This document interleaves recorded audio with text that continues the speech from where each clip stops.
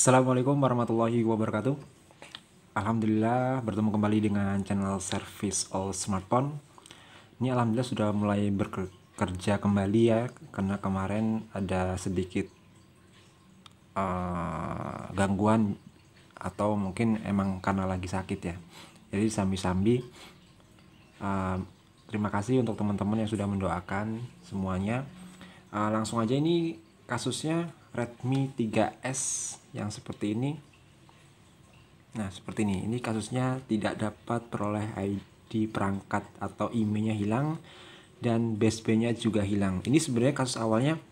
Baseband hilang email hilang dan penyimpanan internalnya pun berkurang. Aslinya 3 per 32 uh, dan setelah dikerjakan oleh uh, teman hasilnya RAM 3 internal dari 16 GB pastinya nanti usernya akan komplain karena kok internalnya susutnya setengah sendiri. Nah, ini sudah saya eksekusi. Nanti ke depan kalau ada kasus lagi uh, agar fix internal akan saya buatkan tutorial. Kalau saya nggak lupa tolong kalau saya lupa tolong diingatkan ya. Ini step yang pertama kita harus aktifkan USB debugging. Uh, yang caranya di bagian versi MIUI ini ditekan kurang lebih tujuh kali. Nah seperti ini. Anda sekarang adalah seorang pengembang. Nah kita kembali. Selanjutnya masuk ke setelan tambahan di sini dan pilih opsi pengembang. Setelah dipilih bagian USB debugnya kita aktifkan. Klik OK. Selanjutnya konekkan kabel USB kita kembali dan di sini saya eksekusinya menggunakan UV Android Toolbook atau untuk yang lainnya insya Allah bisa karena saya cari yang simple ya maksudnya yang ada aja di sini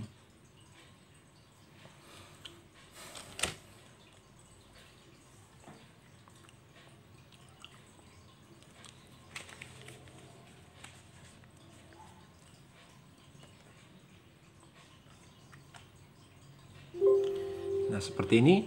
Jika ada notifikasi seperti ini ya di HP-nya. Nah, klik OK. Nah, di sini masuk ke tab Qualcomm.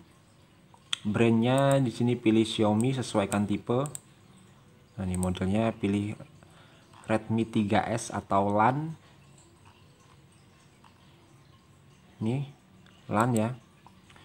Selanjutnya masuk ke tab service di sini di bagian always show this warning ini kita centang klik OK. Nah sebelum eksekusi di sini kita pilih device yang ada ada huruf i nya kita klik untuk mengaktifkan diak modenya. Nah di sini ada pilihan diak. Nah coba yang pertama kita tes yang bintang pagar bintang pagar. Nih bintang bintang pagar bintang pagar 13491 pagar bintang pagar bintang. Nah seperti ini. Ini keluar notifikasi dia pilih yang atas ya. Syaratnya kalau untuk repair ini atau with KCN kita pilih. Oke. Dan di sini otomatis sudah terbaca Qualcomm HS USB Diagnosis 9091 berarti diaknya aktif. Uh, yang pertama uh, kita read KCN ini KCN nya sudah ada di sini. Uh, sebelumnya saya tinggal download di support UFI sudah ada. Filenya pun kecil kok. Lanjut klik write KCN Bismillahirrahmanirrahim mudah-mudahan lancar. Nah, jika mengalami notifikasi error seperti ini klik abort aja di sini nggak apa-apa. Kita ulangi kembali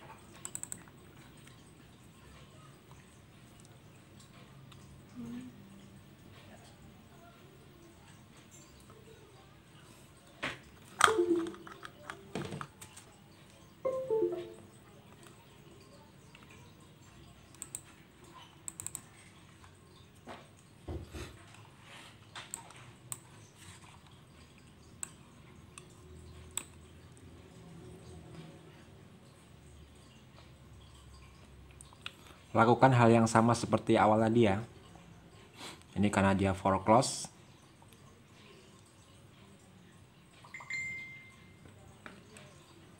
sini masuk ke tab service. Brandnya pilih Xiaomi. Platformnya Qualcomm. Modelnya di sini Redmi 3S LAN di bagian always ini kita centang dibuang. Nah seperti ini. Kita read terlebih dahulu coba. Biar terbaca di sini. Oh emailnya ternyata sudah ada di sini. Oh ini email cantik ini nah kita isi email sesuai dengan yang ada di belakang atau di stiker ya. Ini saya isi ya sesuai ya. Open 6 1 1 1 0 3 2 94 845 nah seperti ini. Ini sudah done uh, coba di bagian KPTS kita buang dulu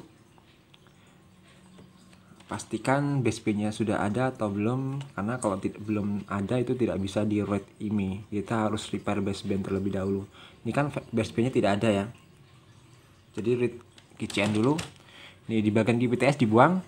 Lanjut read KCN.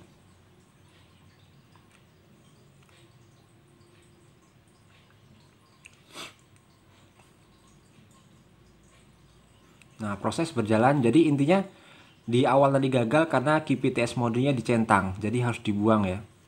Ini KCN-nya. Ini proses berjalan, kita tunggu proses repair IFS dan nanti email sekaligus mudah-mudahan langsung nongol kalau nanti email nggak nongol kita read email secara manual nih down ya tuh seperti itu setelah down uh, kita restart dulu HP-nya untuk memasti memaksimalkan uh, basebandnya itu sudah normal. Karena syarat untuk repair email itu wajib basebandnya normal. Kalau basebandnya tidak ada tidak akan bisa untuk read email ya. Ditunggu.